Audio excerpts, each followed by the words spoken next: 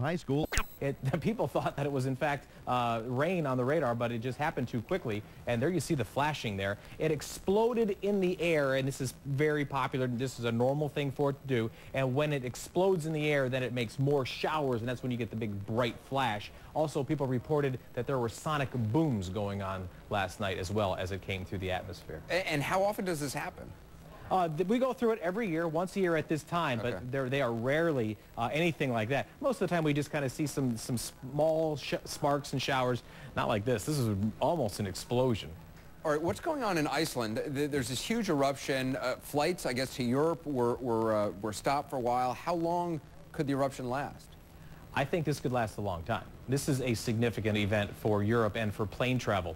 You cannot fly an airplane, especially a jet plane, through ash. Now, I know that looks nice and uh, you know all compact and you could fly around it, but as it as it gets more diffuse away from the the volcano itself, there's ash in the sky and you can't see it.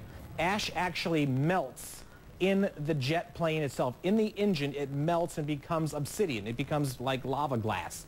And you don't want that lava glass in your jet plane because you, in the jet itself, it will stop running and the plane will fall out of the sky. This is not just something like, hey, we, are cautioning you not to fly. Literally, yeah, I mean, Anderson, thousands of flights have been airspace, canceled. Airspace is closed right here. London, Heathrow, Gatwick, Charles de Gaulle, all the UK airspace, Ireland, Sweden, Norway, Belgium, Denmark, all closed because there is ash coming down from this. And I'm going to draw a line to show you where it's coming from. There's the volcano into Iceland. It should, the ash should just kind of trail off into Sweden and Norway and go into northern uh, Russia. Not happening because the way the jet stream is bringing it down across the UK, it's then going to swing it back over toward the Canary Islands and then in the Mediterranean.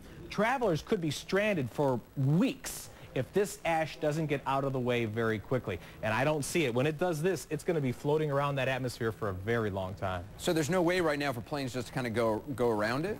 No, absolutely not, because you are in it. When, when the ash is over you, you can't fly up and through it. This is what an ash particle looks like under big-time magnification. You wouldn't want that in your lungs, even if they were flying through it. You would get it in the atmosphere of the, of the airplane. You certainly wouldn't want that in an engine, and that will melt in a jet. Look at it, just so, so very coarse and, and just scouring in the jet, and it literally brings the jet engine to a standstill and then the plane would fall out of the sky with no power. Wow. You, you, just can't have that. Unbelievable. Chad, thanks very much. Sure. Stories tonight, Joe Johns joins us with 360 News and Business Bulletin. Joe? Anderson, a 360 follow tonight. Charges have been dropped against nine of the 10 American missionaries held in Haiti earlier this year. They were accused of trying to kidnap Haitian children after January's earthquake. The group's leader, Laura Silsby, remains in a Haitian jail. Rescuers in northwest China airlifted hundreds of earthquake survivors to hospitals today. The country's state-run news agency says the death toll from Wednesday's 6.9 magnitude quake has hit 760 and more than 11,000 have been injured. U.S. home foreclosures are at a record high, according to RealtyTrac. Bank repossession spiked in the first three months of 2010, up 16% from a year ago. The firm says it's a sign banks are finally getting through their backlog of troubled home loans. And we got a look at the Obama's 2009 tax returns today. The first couple made $5.5 million last year, mostly from sales of the president's book. They paid nearly $1.8 million in taxes and reported nearly $330,000 in donations to 40 different charities. Hmm. Anderson? Interesting. All right, Joe, thanks. Nick, Coming up next right now are Beat 360 winners, our daily challenge viewers to come up with a caption better than one we can come up with for a photo that we put on the blog every day. Tonight's picture, German Chancellor uh, Angela Merkel visiting with California Governor Arnold Schwarzenegger in Los Angeles today.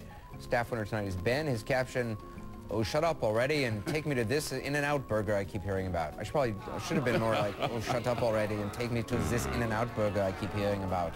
Viewer winner is John from Germantown, Tennessee. His caption, we have agreed to increase trade to help our economy.